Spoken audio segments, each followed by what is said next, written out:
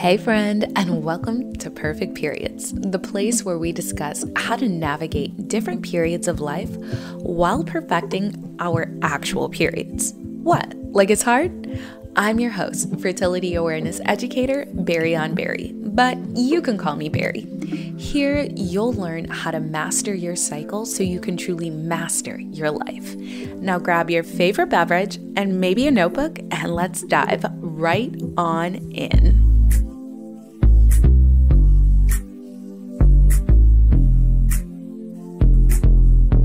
If you are a woman who absolutely loves personal development and you kind of like to learn from people very similar to you, but still a few steps ahead, this video is for you.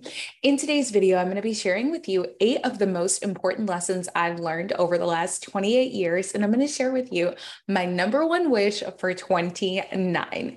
In case you're new here, my name is Berri. I'm a fertility awareness educator and the creator of Optimize Your Flo. Basically, I love anything to do with femininity and personal development, but my zone of genius is teaching people how to really align their lives with their menstrual cycle. I have been able to study different modalities. I love combining Western medicine with Eastern philosophies, and so much of that in between. But with that being said, you know, I, I, was thinking about what I wanted to pour into people this week. And I really was thinking maybe I'll share 28 lessons I've learned. And then it occurred to me that, like, that's a lot of lessons. And as I started writing them down, really only eight seemed to matter. Now, these are in no particular order, but like just kind of how I wrote them down. So the first lesson I have learned is that energy speaks before you ever will.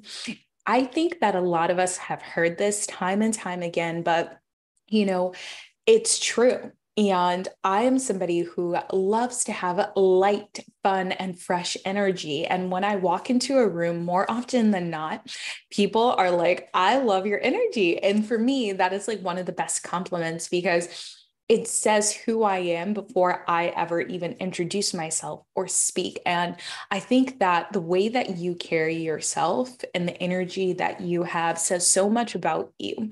The way that maybe you um, approach adversity, like the energy you approach it with, right? Is this going to be an obstacle? Is this going to be an opportunity? It just says a lot. And so I've learned that your energy will speak far more than you ever will, especially if you open your mouth to speak.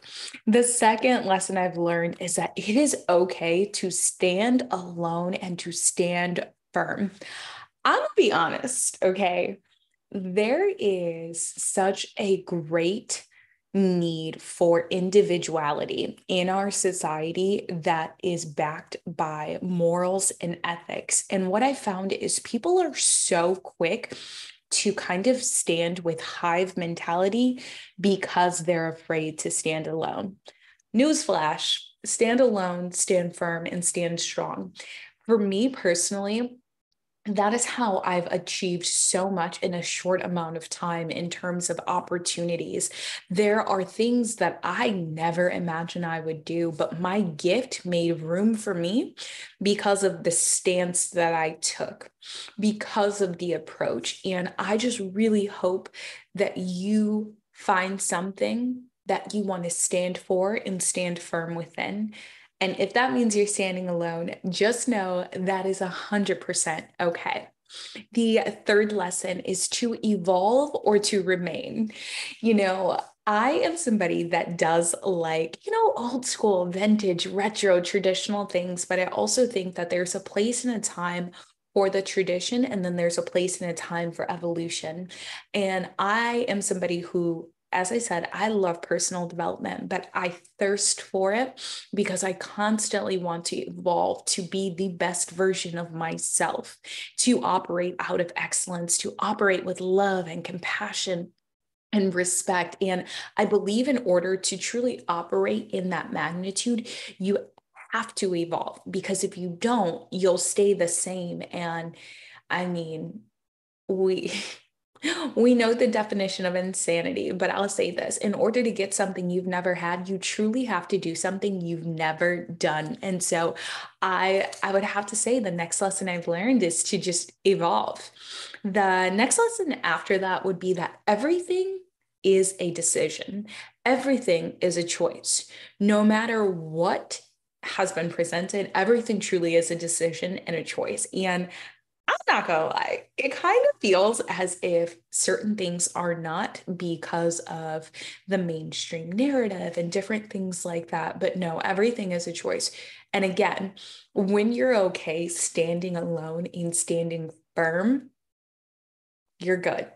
You really are good. But like, I think that our perception is really important and for me, I have perceived everything as this opportunity. I have had a lot of odds stacked against me my entire life, but most people would never know that because of how I choose right to carry myself how i choose to view those obstacles really as opportunity really as this way to build character and so I, I think lesson number four i think we're on number four is that everything is a decision Lesson number five hmm, is that less is more.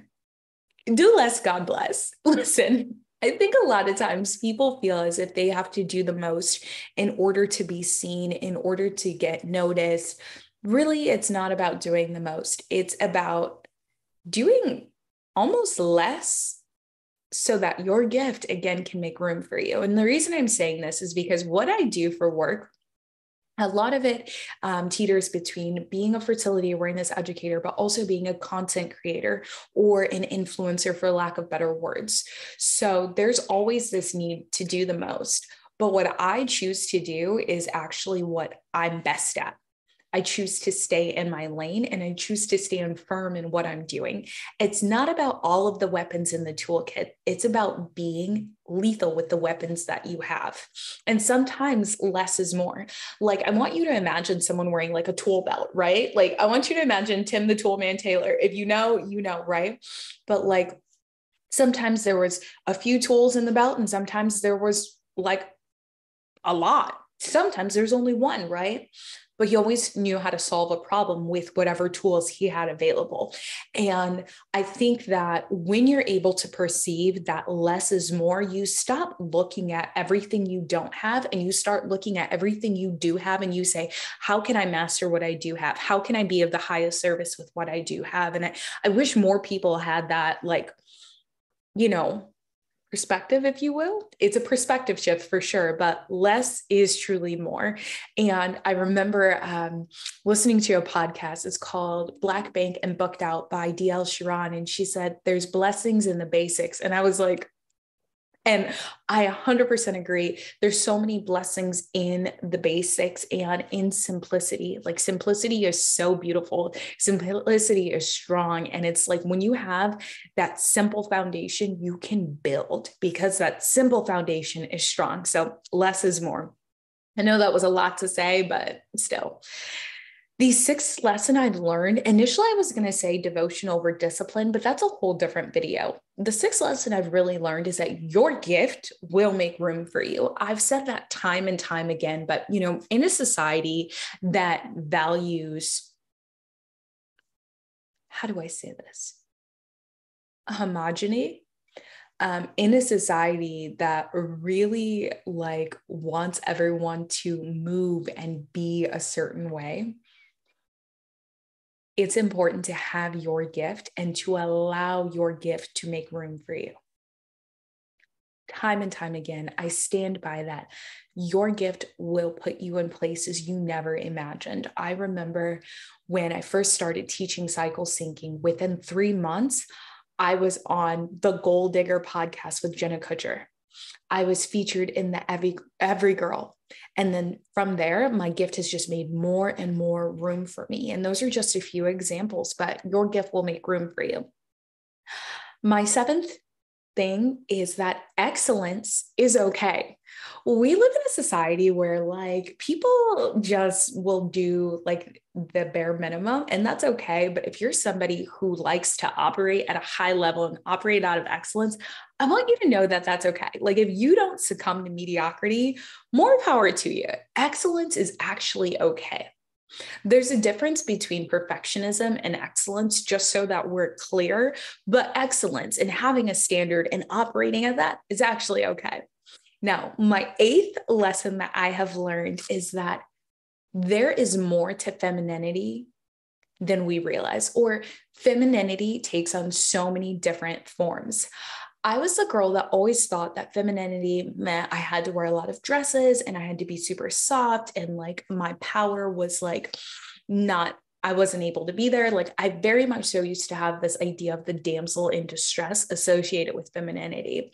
But as I've gotten older and stepped into my femininity more and studied it more, wow, it really does take so many incredible forms. And I'm just so grateful that I have learned that over the past few years. Now, with that being said, I want to share my wish for 29. And my wish for 29 is very simple show me how good it can get. And that is literally it. I think it's just so important that we get to see how good life can be and really just welcome it in. So, I hope this video has been supportive to you. I hope you enjoyed today's episode. And if you do, leave me a comment and let me know what lesson you love the most or lesson you've learned. As always, I'm sending you big love and flowy vibes, and I'll talk to you soon. Hey, friend, if you enjoyed today's episode, can you do me a solid and leave a rating and review? And if you have some friends going through different period of life where they want a little bit more peace, or perhaps they just want a better period, make sure you share this with them because here we're all about having a period and a life, an enjoyable one at that. As always, I'm sending big love and flowy vibes.